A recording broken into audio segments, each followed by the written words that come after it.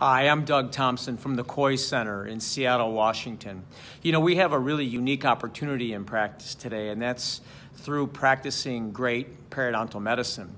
The challenge for us is we need hygienists that can help us do that. We can't do it alone.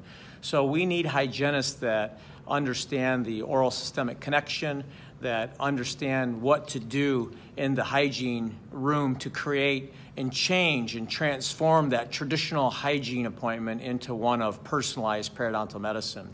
So we now have a nice option at the Kois Center in Seattle. We have a two-day course, and that two-day course is meant to be transformational.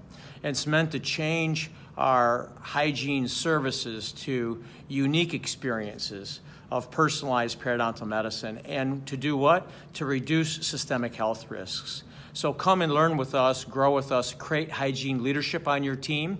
Join us for two days at the Kois Center. We'd love to see you there.